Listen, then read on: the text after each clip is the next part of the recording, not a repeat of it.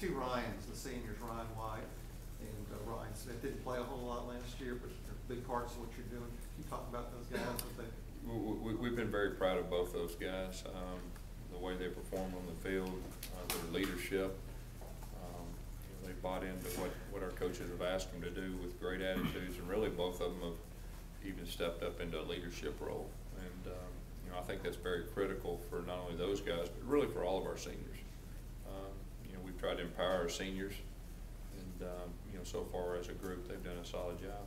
Gus, getting those injured players back on defense, how much do you think it helps out that side of the ball, and do you see that defense improving over the course of the season? Yeah, I mean, it- we've had some, some big blows uh, defensively as far as injuries goes. And, you know, anytime that happens, especially if, if it's to impact players, and some of them are definitely impact players, you've got to kind of mix and match. And uh, so hopefully we'll stay healthier moving forward and we'll get some stability and, uh, you know, and improve. And and I think that, that, you know, will be a big factor moving forward. Mike Harrell's a guy that's got some pass rushing ability. Is, is he somebody that can help you pretty quick? That- that- That's a possibility. You know, he- he's out there and he's getting better. Has, has Jeff Whitaker practiced at all? Has- No. What about Tre Mason? How, how, how impressive he's been with the way he's been running the ball, especially against LSU, even when you got down twenty-one? Right, uh, he, he, you know, he made some real hard yards, and we, you know, Coach Horton's always talking about yards after contact, and, you know, I think close to half his yards were. And, uh, I think that's important moving forward, breaking tackles, um, you know, making people miss, and he did a solid job of that against LSU. There's ball security with him. I know, you know, he's had some struggles with fumbles Yeah. this season, last season. What do you guys? Well, we, we gotta cure it, and, uh, you know, that's a big, that was a big point of emphasis last week, uh, ball security, um, protecting the ball, um, cause we can't afford, you know, to put the ball on the ground. What is your assessment of, uh, Bo Wallace and what's your single most greatest concern about Ole Miss's offense? Well, I think he's, uh, first of all, I think he's a very good quarterback. Uh, I think he can make all the throws. I think he's very nifty as a runner, uh, especially inside. You know, he's, he, he- he's very good with the inside zone. He's very good with their speed sweep read, finding cracks, and he's a tough guy.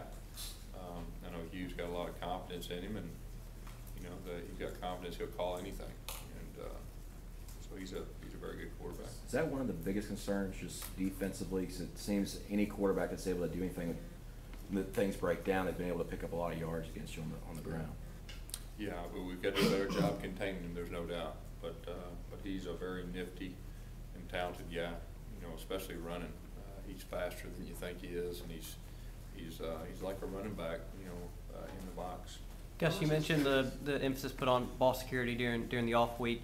When, when Rhett was here Sunday, he said the ball security is as bad as he can ever remember since he's, since you guys have been here. Is there anything you can attribute that to? Any reason for that? Well, we gotta do a better job emphasizing it, coaching it. Um, and, and we've, we've really turned up the heat in that area, and that's an area that's gotta improve. And, uh, it's been glaring, there's been, uh, balls on the ground that we actually got back. And, uh, so that was, that was a big point of emphasis last week, and it'll be a, a point of emphasis moving forward. If you get Chris Davis back this week, you gonna put him at punt return, or? Uh, we'll, we'll see how he does this week. How much has Tre's game changed from the player you kind of used as a freshman? Well, he was, um, you know, as a freshman, what stands out to me is he's a tough guy. Um, he'd be willing to, to do anything. He had a great attitude. He still has a great attitude. He's just a more veteran guy. He understands the big picture. He doesn't just know what he does, but he understands why we do stuff and, um, the adjustments we'll make. And I think, you know, that just comes with experience. You said that he texted you Sunday and said, I don't enjoy playing my friends. Uh, what's the most difficult part about coaching against a close friend like that?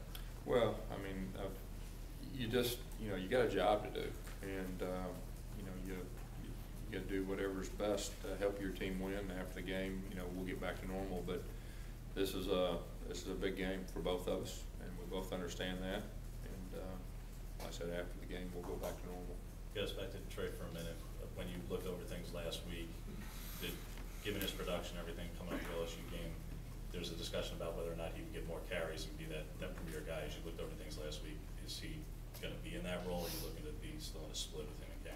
Well, you know, we got three running backs we feel very good about, and, uh, they're all three different. We'll utilize them at, at, uh, you know, what we feel his strengths are. But, uh, we're, we're definitely happy with Tre. Um, we're happy with Cameron and and Corey too.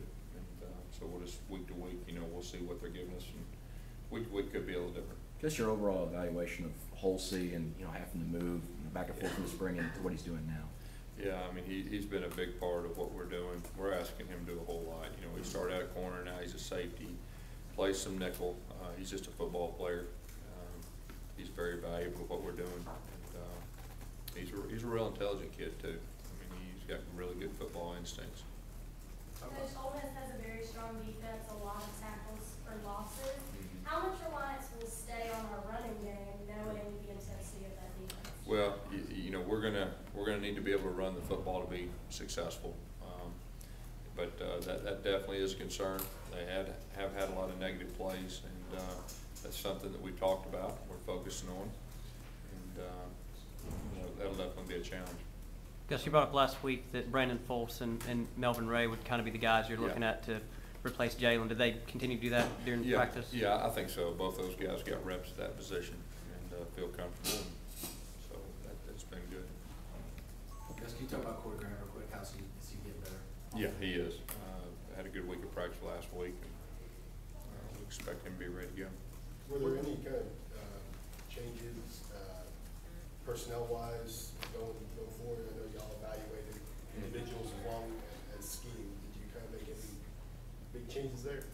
Well, I mean, we've we evaluate everything, and, uh, you know, we try to get a plan moving forward that gives us the best chance of being successful and the best chance of improving each week. And so Saturday, there, you could see a few little tweaks and all that, um, but, uh, that's the plan we have moving forward. Coach Freeze said that, uh, they had some trouble communicating at Alabama because of the crowd noise. I know you mentioned earlier about how important it is, but Yeah. how important is it this game? Oh, it's very critical, you know, we get the best fans of college football, and, uh, that atmosphere, you know, especially in the fourth quarter against Mississippi State was second to none, and we'll need four quarters of that, and, um, that'll, that'll be a huge advantage for us, um, with our craft. What's the biggest thing Nick got out of the week? You know, hopefully, a chance to catch his breath, to get better at the foundation runs and passes, just, uh, what we do, and feel more comfortable. I think, uh, that's, that was our biggest concern. We try not to add a whole bunch of stuff, just try to zero in with the information we had on what we felt like his strengths are. Anything else? All right, good. Thank you.